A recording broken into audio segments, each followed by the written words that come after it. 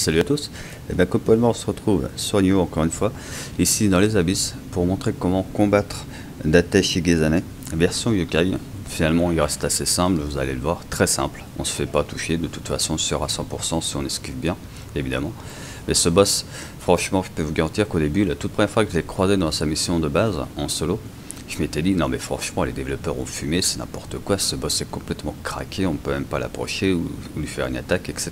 Ben, finalement, quand tu prends le temps de l'étudier un petit peu, enfin étudier, c'est un bien grand mot, quand tu prends le temps de regarder son pattern, ben, tu te rends vite compte en fait qu'il a de belles ouvertures, et vous allez le voir par vous-même. Franchement, c'est pas mal. Alors, vous avez possibilité d'essayer de l'affaiblir avec le talisman de faiblesse, c'est vous qui voyez pour faire un maximum de dégâts. Après, c'est pas obligatoire. N'oubliez pas une chose importante, je rappelle que pour du yokai, sur les accessoires, mettez des de mêlée yokai à 15%.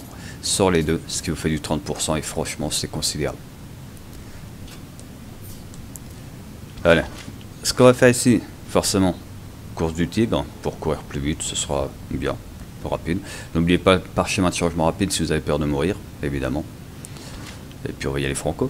Alors je vais pas m'embêter à l'affaiblir, hein, parce que vu que je suis assez puissant pour ça, voilà. Je vais pas encore non plus leur mettre plein la gueule. On se met juste à distance.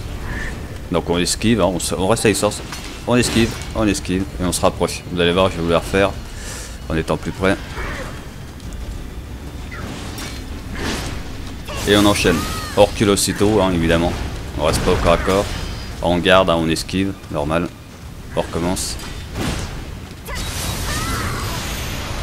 Et il est mort.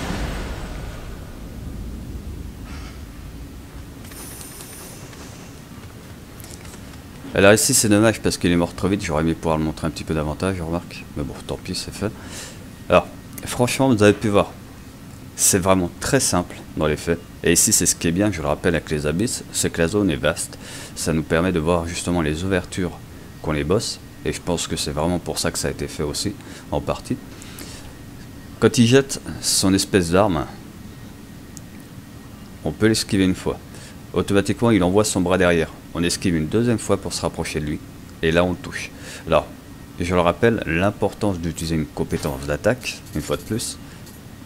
Vous avez pu voir qu'ici, avec 25% de dégâts en plus, en plus des dégâts de mêlée yokai que j'ai ici, je lui fais énormément de dégâts, et sans même forcément être à haut niveau. Hein, quand tu es bien stuffé à ce stade du jeu, au palier 40 à peu près, normalement, franchement, tu peux pas être emmerdé. C'est pas possible.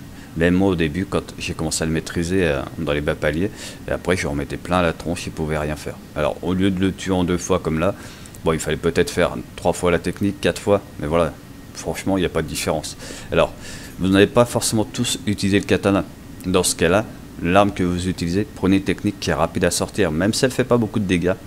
refaites ça plusieurs fois, il passera tout seul ce boss. Vous allez vous rendre compte qu'à force de le maîtriser, d'esquiver comme il faut, vous allez vous rendre compte que finalement, bah, il n'est pas dur.